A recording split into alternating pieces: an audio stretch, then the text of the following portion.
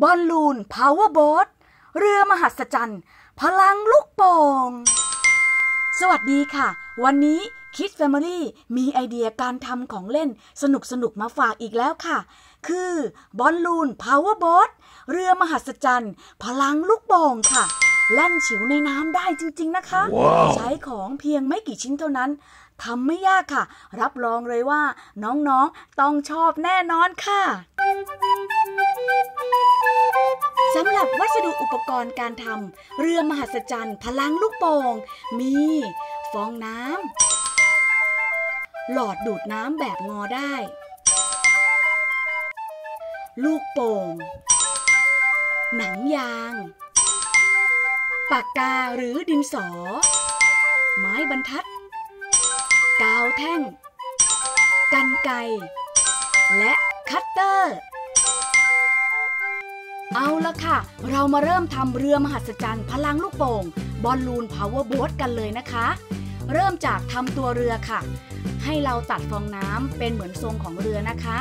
โดยการใช้ดินสอหรือว่าปากกา เขียนเส้นลากตำแหน่งไว้ให้เรียบร้อยนะคะ แล้วก็ใช้กรรไกรตัดตกแต่งค่ะ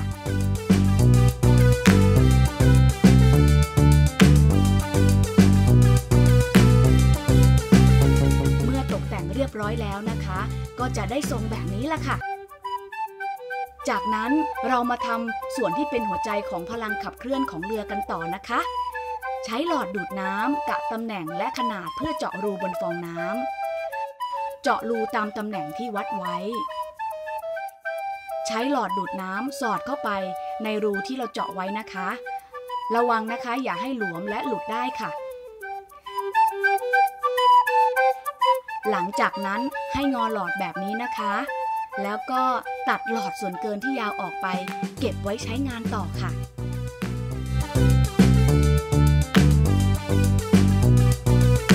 ใช้กาวติดหลอดกับฟองน้ำให้อยู่นะคะ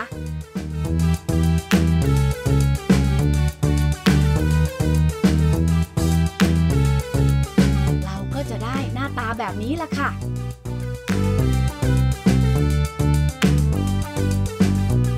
ต่อไป เราก็เอาลูกโป่งนะคะ มาสวมที่หลอดแบบนี้ แล้วใช้ยางมัดปากลูกโป่งให้แน่นค่ะ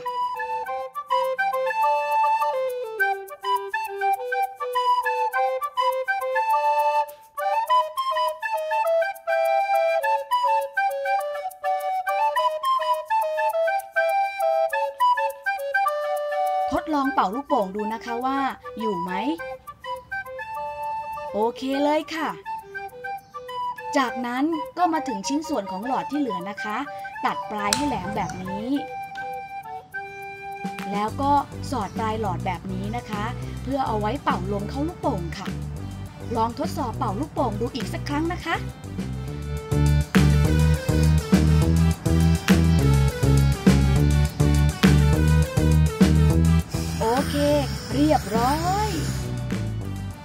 คุณแม่อาจจะหาของให้น้องๆ ช่วยตกแต่งหน้าตาเรือให้สวยงามเพิ่มเติมได้นะคะ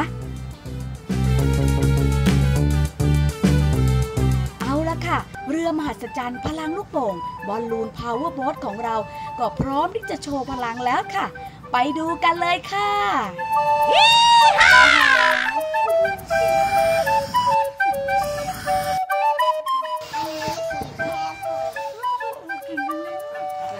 พ่อคุณแม่คะ นอกเหนือจากความสนุกสนานแล้ว ยังเป็นกิจกรรมที่กระตุ้นให้เด็กๆนั้น เกิดความสนใจในการเรียนรู้ด้านวิทยาศาสตร์อย่างง่าย ๆด้วยนะคะ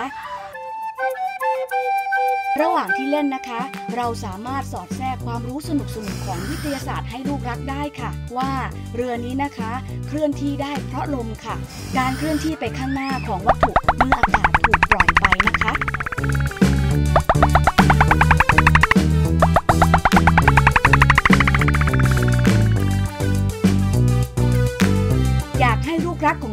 มีมากกว่าความฉลาด มาร่วมกันทำกิจกรรมสร้างสรรค์ ที่เสริมสร้างพัฒนาการ และพร้อมกับใช้เวลาคุณภาพกับลูกน้อยของเรากันนะคะ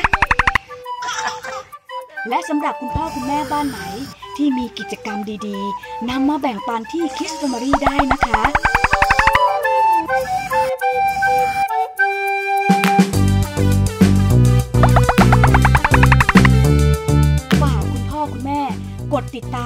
ดกระดิ่ง เพื่อเป็นกำลังใจ และไม่พลาดเรื่องราวดีๆ จากคิดแฟมิลี่นะคะสำหรับวันนี้ลาไปก่อนค่ะ สวัสดีค่ะ